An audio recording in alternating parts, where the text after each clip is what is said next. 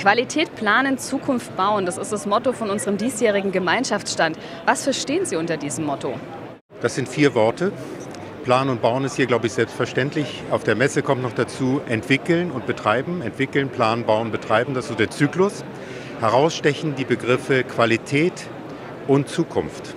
Und ich glaube, beides sind äh, extrem aktuelle Aufgaben, die wir in Deutschland bewältigen müssen. Und wir haben uns angewöhnt, sehr viel über Quantitäten zu reden. Auch hier auf der Messe wird überall über Zahlen geredet. Sie kennen das schöne Wort von Oscar Wilde. Es gibt Menschen, die kennen von allem nur den Preis und von nichts den Wert. Es geht hier um Werte. Werte, mit denen wir in die Zukunft entwickeln, planen, bauen und betreiben. Welche Erwartungen haben Sie an die diesjährige Expo Real?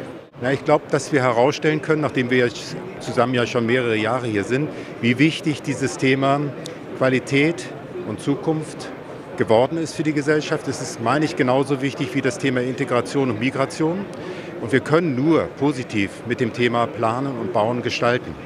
Und ich glaube, dass wir uns langsam bemerkbar machen können, wie das auch dem Thema angemessen ist.